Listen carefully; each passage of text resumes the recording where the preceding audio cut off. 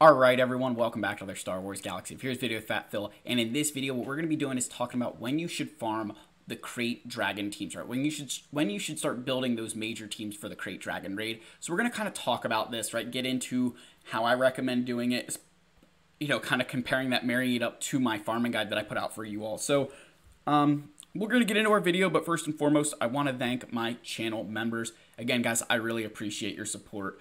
Um, you know, this it's amazing to me how much this channel has continued to grow, even when I'm not posting regularly. So again, thank you all so much. I really appreciate it.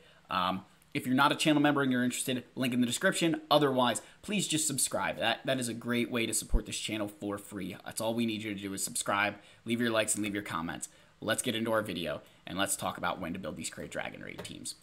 So, Krayt Dragon Raid is something I know a lot of players are asking me, hey Phil, you know, when should I start building teams so that my guild can score more and more in the Krayt Dragon raid? And this is a great question. It's actually it's a very good question to ask of like when to build these things because sometimes you know some of them it's going to be very easy to get to, like a Jabba the Hutt team, right? Whenever you farm Jabba, that's when you're going to get that team. But when do you get some of these other ones, right? Because they're not always straightforward. Obviously, our king, even though we cannot use him in this Krayt Dragon raid, he still deserves his time in the sun, sitting on his lofty Relic 8 throne. Wampa, you may not be allowed in the Krayt raid, but you are always in our hearts. He's probably not allowed in the Krayt raid because he'd break it, but, you know, that's that. All right, so the first things first, right? I mean, these characters are, you know, part of that farming guide, right, are very early on. You know, you're going to get Boba Fett early, right? You're going to get Cad Bane early for Executor. You're going to get Best Beskar Mando. You're going to get OG Mando. So you're going to have some decent characters right off the bat that you're going to be able to use in the Krayt Dragon Raid, right? And all four of these characters have use, right? And you can, you know, dance around with the leads to figure out which one's going to get you the most points, but, you know, they have their uses in the Krayt Dragon Raid. Those are the first couple characters you're going to be building. Now, you know, Jack, please, man, come on. I, you know, I really was hoping that when the when the videos died down, the cup love would die down, and it's only grew exponentially. So it's looking pretty bleak right now, guys. Um, anyway, so then you've got like this Jedi Knight Revan team, right? You know, your Old Republic, and this is a solid, like, this is a nice, like, in between, right? You know, if you're following along on the farming guide, right, you go and I tell you, hey, get your Executor, right? And then you can kind of build this Old Republic team.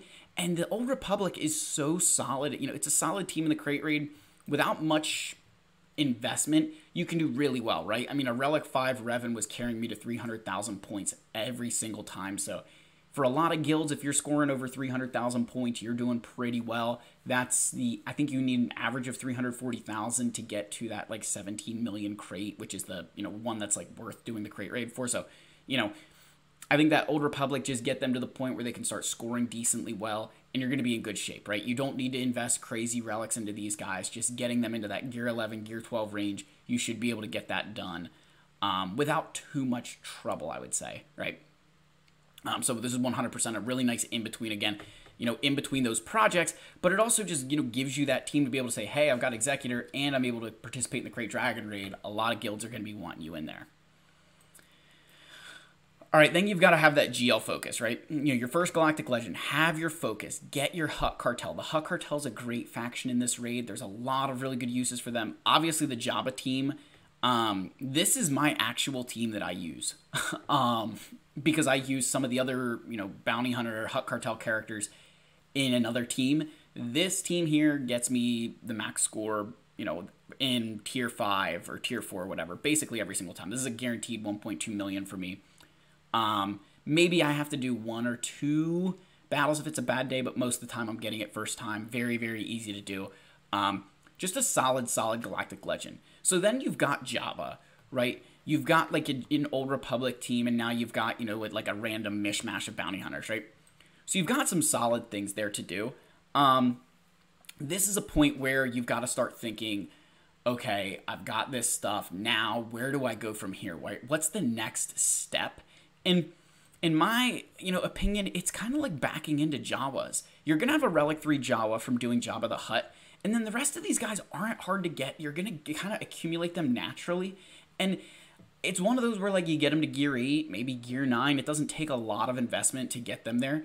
And they're just like a solid 300,000 point team.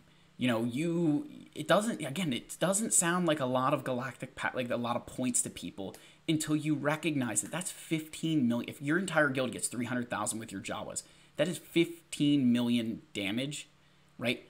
Just from those guys alone. So now all of a sudden, this you know one relic three and a gear eight team getting you 300,000 doesn't sound that bad. So, you know, take that for what it's worth.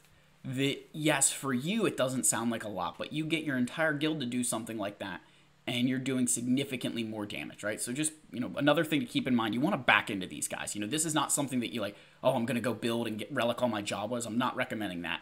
I'm just recommending you kind of back into them that as you get these guys, you're going to put some little bit of gear into them and you're going to get a lot out of them in that Krayt raid. Now, the overtime here with your Mandalorians, this is a great example of like, you know, overtime, right? So Maul, he's locked in Proving Grounds behind 4 million galactic power, so it's a long way away for a lot of people. Um, Beskar Mando, probably one you're going to have early because of Executor, so you'll get that relic.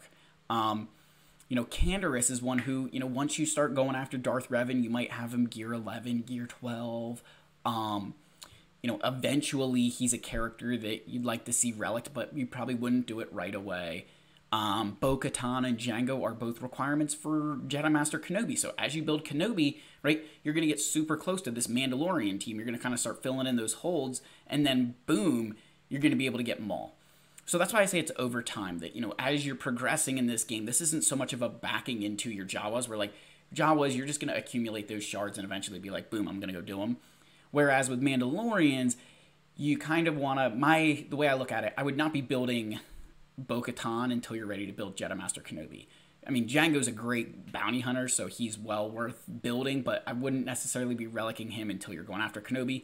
Um, so yeah, this is one of those where over time you're going to get this team, get them to really good relic levels, and then you can maybe say, you know what, my Canderous and Maul, I'm going to invest a little bit and get a lot out of this team. This is a solid team for me. I've been scoring, you know, I know armor is better, but I've been scoring over a million damage with these guys. Pretty, you know, I'm pretty okay with them now. I've kind of got that down pat. So, been doing really well with these guys. I've been very pleased with the way that they've turned out. And again, you're going to have these mishmashes of teams. It's just about figuring out which one is going to get you the most damage over the, you know, with the least amount of work.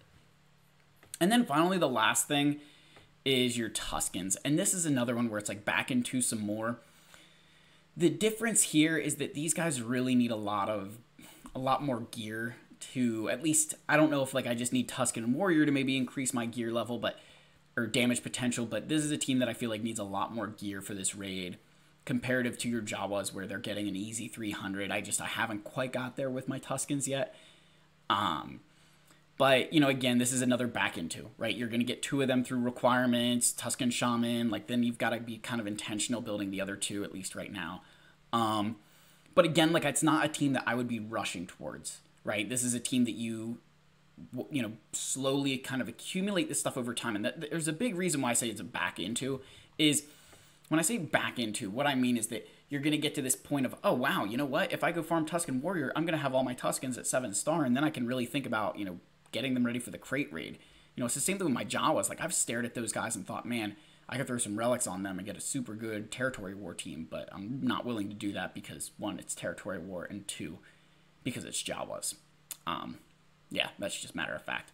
But again, that's when I recommend building the Krayt teams and how I would do it, right? The you know, you're gonna build just a mishmash first, right? It's not you're not gonna have that solid A team right away. You've got to do the mishmash, gotta kind of work your way into it, and then you'll start slowly building in, you know, this old Republic and Jabba teams as you're progressing those accounts. If you're following the Phat Phil, you know, farming guide, you know, you see that you'll kind of get some of those mishmash of characters and then you're going to move into your you know finally getting a solid team and then moving into the you know Hutt cartel and doing some really good stuff in the raid. That's when it kind of really opens up for me is when you know you get this. Because then these other teams i mean mandalorians as good as they are. They're not one that you can really chase until you've got Maul at seven star and for a lot of players that's just not going to be an option because he's stuck in proving ground. So I don't know, guys. That's the video. Let me know what your thoughts are down below. As always, smash that subscribe button, leave your likes, leave your comments, and I'll see you all in the next video. May the force be with you guys. Cheers.